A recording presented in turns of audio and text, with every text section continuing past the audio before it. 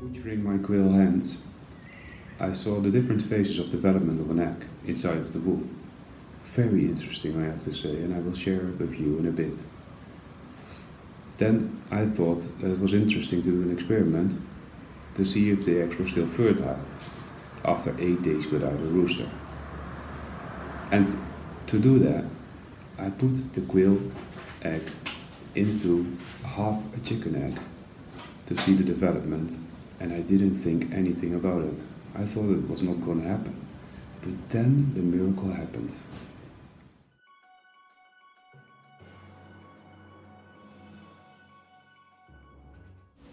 Here you see the development of an egg inside the quail.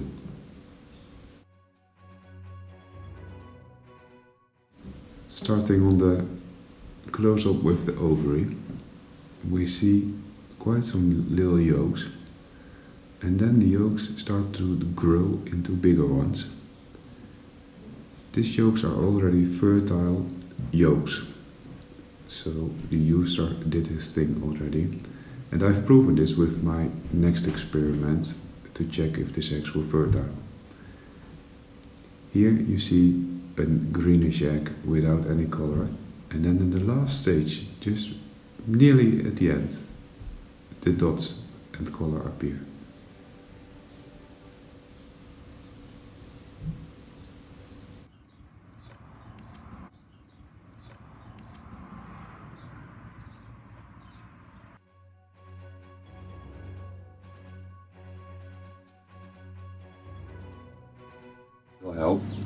We're gonna try to use donor eggs. Never tried before, never saw it on YouTube. But what are we gonna do? We're gonna well, we're gonna make a little holder, I said, but I'm gonna use the scissors.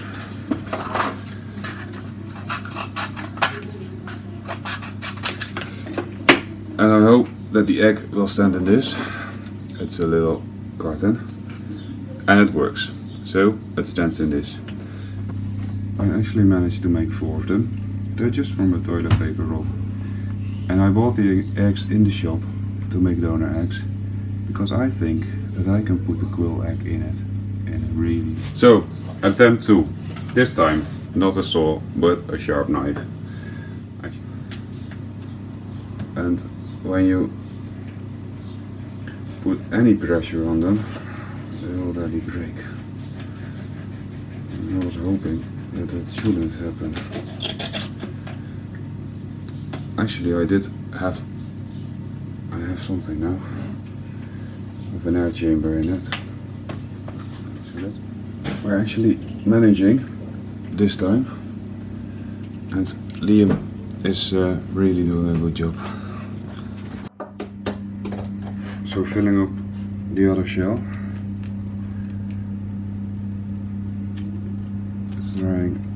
Yes. Very nice. So this is eggshell donation part one and I really figured out how to make it. You it looks like a butchering scene doesn't it?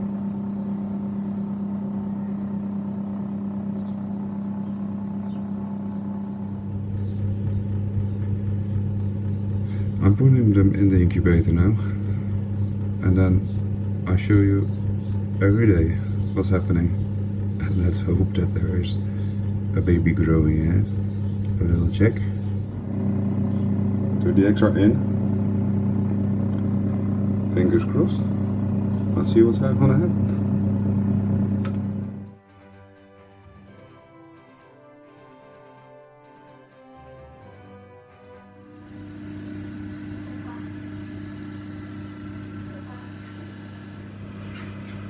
if this is what I think it is, then it is alive.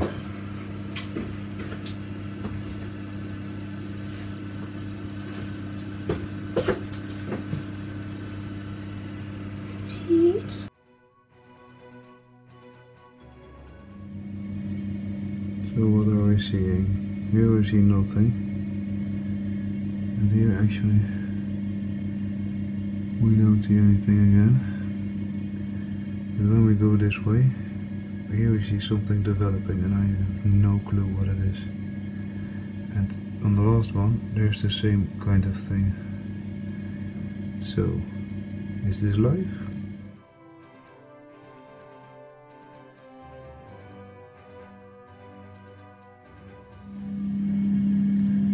So I'm concentrating on this two eggs. This one. And that one. Because you still see the circle. And over this you see, the, see it the best. It is growing. It is about half the yolk now. Now let's see in the evening. Big news. Blood vessels developing in one egg and in the second egg. There's absolutely life. No uh, questions about it. The other two are empty.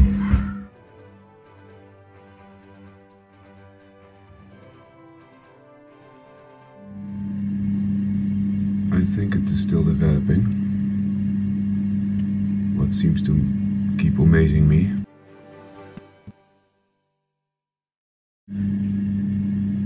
It is developing. Wow, how beautiful is this, huh?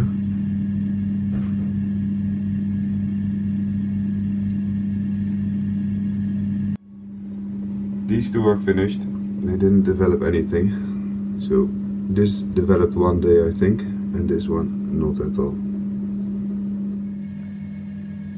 So it's very clear what is happening in the two eggs. You can see it close up.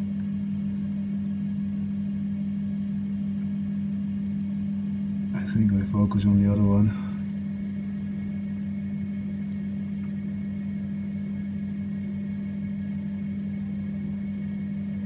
So strange. You can see the head and uh, then there's all these veins coming from the head moving in all directions. It is a beautiful sight, isn't it? The same. I'm a bit worried about the little dots that I see on the plastic on the inside. And it looks like it is leaving the yolk more or less. What is also not a good sign. But anyway, we came about five days.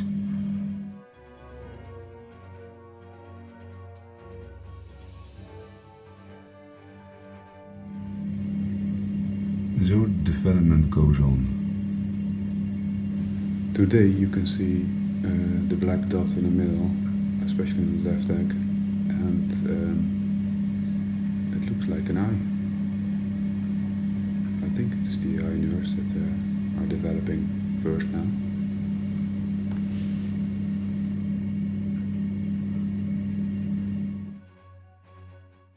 From this moment on, I used the standard to make the film, uh, and I put down the background noise.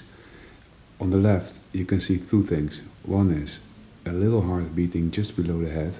Uh, the head is, the, is bending a little bit to the left, and you can see a white dot appearing and disappearing, and that is uh, a limb that is moving and uh, reflecting the light from above.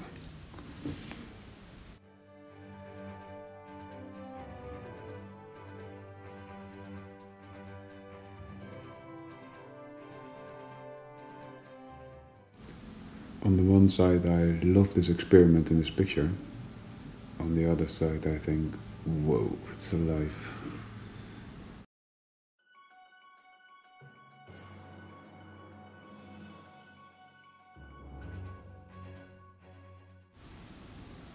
A clear head on the left egg.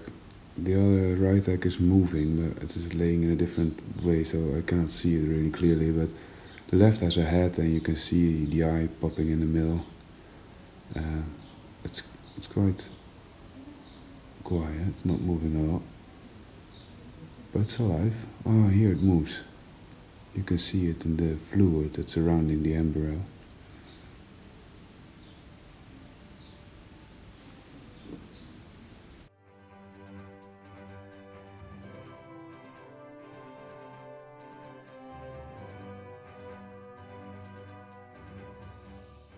So with the interval of about 12 hours, you see amazing development changes.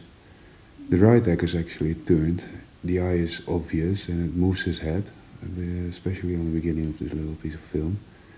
Um, yeah, nice. I'm a little bit worried about uh, the bulb on just behind the head of the right egg.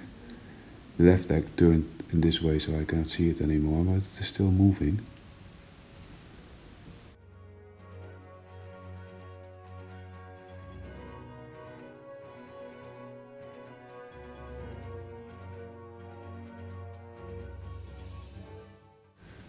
Beginning of day seven and obvious what has happened.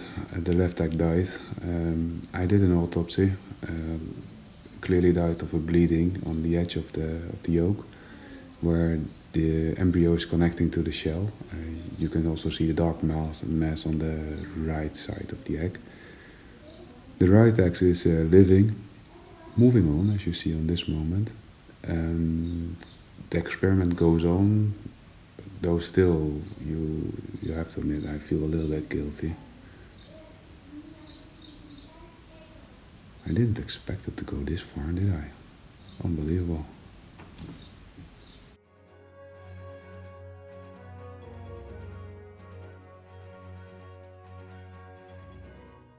So removing the one egg, one down, one still going strong. Again, the growth is so fast in these embryos. I cannot believe it. It lays uh, tummy down, so you cannot see anything but movement. And uh, I think the head is on the top side of the egg. If you know better, just leave a comment please, because this is all new for me.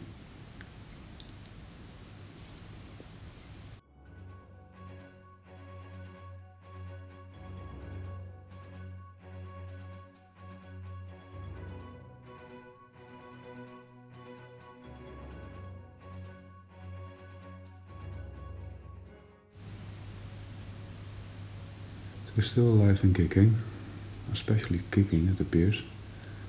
Um, the plastic became a little bit foggy and on the last time that I opened the other egg for autopsy I saw it was uh, just water uh, that's condensated on top. So nothing to worry about. Um, growing, moving, looking healthy and going on.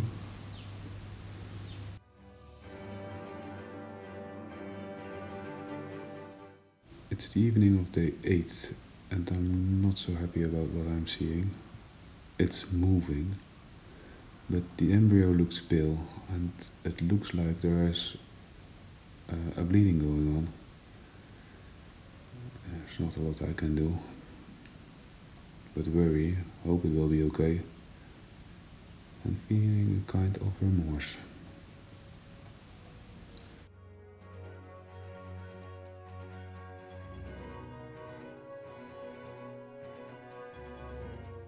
So the beginning of day 9 starts with sad news. The embryo is dead. I was right yesterday evening. It, uh, the veins are gone, it looks pale, it doesn't move and uh, it looks nasty because I think that for a couple of hours already. So the experiment ends here. So 9 days of chick development without any shell. I think it's an accomplishment, but am I gonna do it again? I don't know. I don't think so. Creating life in my kitchen is quite something and not something I will do on purpose again.